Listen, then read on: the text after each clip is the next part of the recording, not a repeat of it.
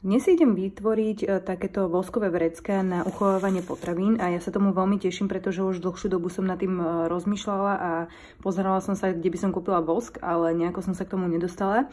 Každopádne dostala som od jednej z vás e, vosk aj vrecká, takže sa idem pustiť do výroby. A tak a taký malý rýchly návod, ako na to. Sú dve možnosti. Buď sa tento vosk roztopí a teda každú tú jednu látku v ňom namočíme a potom necháme vyschnúť. Alebo si vezmeme takto papier na pečenie, nastrúhame teda tento vosk aj na vrch, aj na spodok, aby teda sa prichytil na tú látku a prepila sa tá látka tým voskom.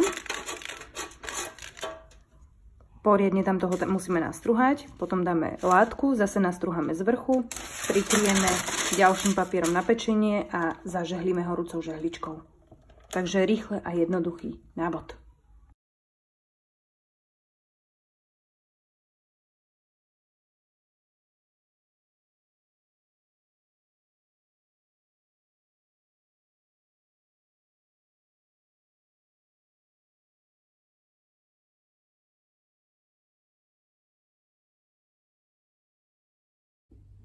Tak, pozrite sa, môj prvý voskový obrusok je na svete. Ďakujem veľmi pekne. Veľmi sa z toho teším. Teraz ho už len nechám vychladnúť a pustím sa do výroby ďalších.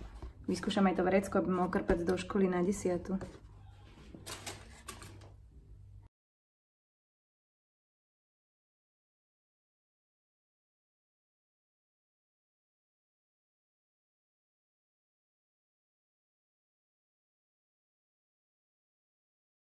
Pozrite sa na to, chcem sa s vami podeliť o moju radosť na to, na tie voskové vraby, ktoré som si včera vyrábala.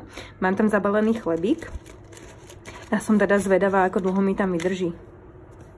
Zatiaľ je mekučky, vôbec neobschla táto kôrka. Každopádne stále je čerstvý.